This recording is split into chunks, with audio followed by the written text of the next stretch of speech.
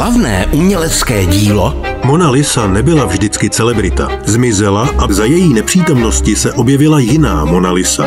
které je po staletí stělesněním krásy a dokonalosti, Jsou možné dvě teorie. Jedna je ta tradiční, o jediné malbě, no a jiná hypotéza předpokládá dvě různé malby.